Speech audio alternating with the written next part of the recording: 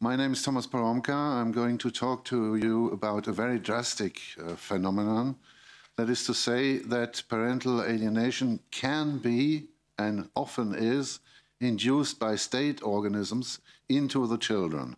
I am from Trennungsväter uh, e.V., which is a German NGO with a special consultative status with ECOSOC. This is the Economic and Social, Social Council of the United Nations. And uh, we are closely monitoring what's happening, especially in Germany. There is a purpose in inducing this parental alienation in children sometimes. Uh, similar practices may exist in other countries, but uh, I'm going to give you the example of Germany. And please note, I will not read all my slides to you you, you can read by yourselves. I'm giving you uh, some additional information. And if you are interested, you can take a copy of our slides. Just give me your business card and uh, I'll send you a, a file by, uh, via email. So now, basically, there are three chapters to my talk, sorry. Firstly, I want you to know how it is done. How can a state agency induce parental alienation into a child? Well, there are two basic types. You can see that.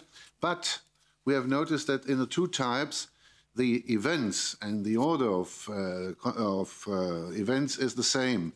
So we, we will talk about one case only, and you can see where the differences apply.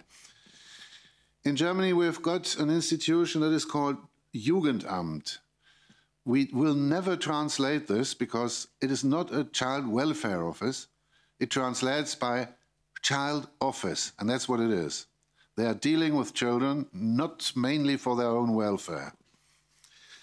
Uh, and I have to say, not every Jugendamt is doing wrong. Please forget that. Many Jugendamt agents try to do a good job and to help the children, but our criticism arises from the fact that there is no effective control of the Jugendamt. Once something has gone wrong, it will stay wrong. There's no uh, remedy. And please note as well that in this talk, I will not say at every sentence, um, it's my opinion, I do think. This is understood. It's very important that you know that because uh, somebody might accuse me of giving false information. So this is my personal opinion and my personal perception. In Germany, whenever you have got an affair in a family court, uh, involving children, of course, the Jugendamt must be heard. You see it on this uh, side here, on, on the right. Jugendamt is sitting there and is heard. Nobody knows what that means. It has to be heard. But the fact of being heard confers to the Jugendamt all the procedural rights of a party. So it is sitting down there along with the parents. And the Jugendamt may, uh, for instance, file claims, although it, it has nothing to do with the cases between the parents it may, uh, it may file claims. But when you come down to some uh, duties of the parties, then the Jugendamt is exempted of it. For instance, the parties have uh, the, the obligation to talk the truth to the court. The Jugendamt does not. They may lie. We have letters from federal ministries to this effect. The Jugendamt is not concerned by the obligation to tell the truth to the court. But the Jugendamt is as well heard like an expert. The courts rely on the Jugendamt expertise. They have too less, uh, too, too short time to investigate a case, so they call the Jugendamt's agents and say, please tell me what you have seen and I will base my decision on that. But you can refute an expert when you notice that he is biased, that he is on, clearly on one side a Jugendamt agent can never be thrown out of a procedure. Thirdly, the Jugendamt has some of the rights of a judge. That is clearly not possible because uh, it's a violation of the principle of separation of powers. The Jugendamt is part of executive power and it acts like a member of the jurisdiction. But that's the way it works in Germany. And this is why once a Jugendamt has taken a child out of a family, which normally would need the authorization of a judge, but they can do it, this child will never return into its family. And lastly, although the Jugendamt is sitting with the parties and has all the rights of the parties to be heard, sometimes the judges may decide against the Jugendamt, but the Jugendamt is not bound by the court decisions. It may do whatever it wants. It can supersede the judge's decision. This has been declared okay by our constitutional court. So the Jugendamt, in fact, is a kind of super judge sitting above the jurisdiction.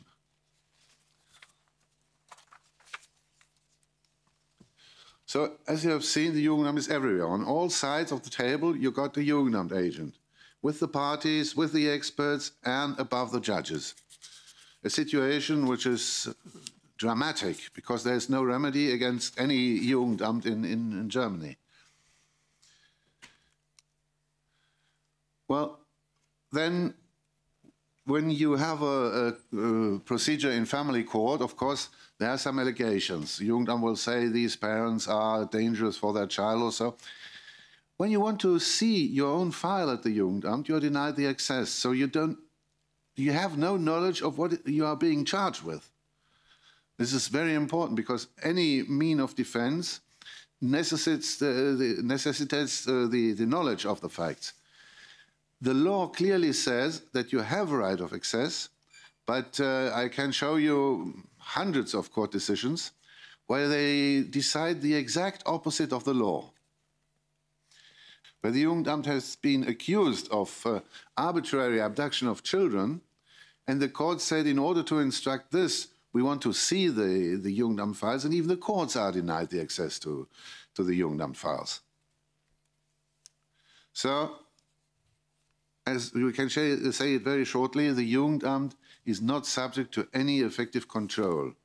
All the control mechanisms that exist in the law or on paper do not work. So now we come over to the judges, because all the system would not work if the judges didn't participate in it. We have observed, and there's a big discussion in German, in, in German uh, papers, judges increasingly do not respect the national law. This is even known to, to university professors. I have heard myself a professor in a conference at Düsseldorf who said, a man who teaches and uh, examines future judges, and he said, please forget the idea that in family court the law is being observed. He said it very clearly. So, uh, well, the consequence is that in Germany, less than 39% of the populations have any trust in the judiciary.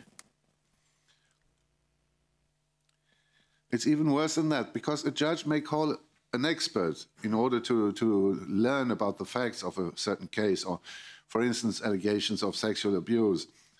But if the expert's report is not to his liking, he may override it. Judges interpret the law randomly. I've heard a judge who said, well, this is what is in the law, but this is what the law really means. And it was the exact opposite of the text in the law. Uh, in everyday practice, you, you can challenge a, a judge on ground of bias, but it doesn't work. It has been, I don't know how many how many years it has been since the last judge has been thrown out of a family procedure, they always will say, no, uh, I'm quite okay, I'm impartial, and that is all they have to do. They stay on the procedure. Yes. Um, I'm giving you now a very, very important, it's the key slide, I, I shall say. We have developed a method, and we have discovered, we have discussed it with uh, scientists. This is the way the parental alienation is practiced by the Jugendamt and by the judiciary. We have four phases. Each phase starts with a word uh, with a syllable end in German. This is why we call it the method of the four ends. First of all, the Jugendamt or a parent takes a child out of its family. Secondly, there is a phase of delay which is used for alienating the child from both parents or from the alienated parent. Thirdly, the child will at last be heard in court, but of course it will declare, ah, I never want to see my dad or my mom again. And this is where the judge takes parental custody away from the alienated parent or from both parents if the case is a Jugendamt uh, against both. And lastly, there's expropriation because when a child has been taken out of, of its family, it goes to a foster family or to a home, and then the parents will have to pay for that child. And this amounts up to 6,000 euros a month. I don't know many people who earn as much as that. Well, uh, due to time constraints, I'm stopping here. Let me just say that according to the definition of the United Nations, all that is happening here is clearly defined as torture, according to Article 1 of the Anti-Torture uh, uh, treat, uh, Treaty. And we are working on that with the United Nations right now. So thank you for your attention.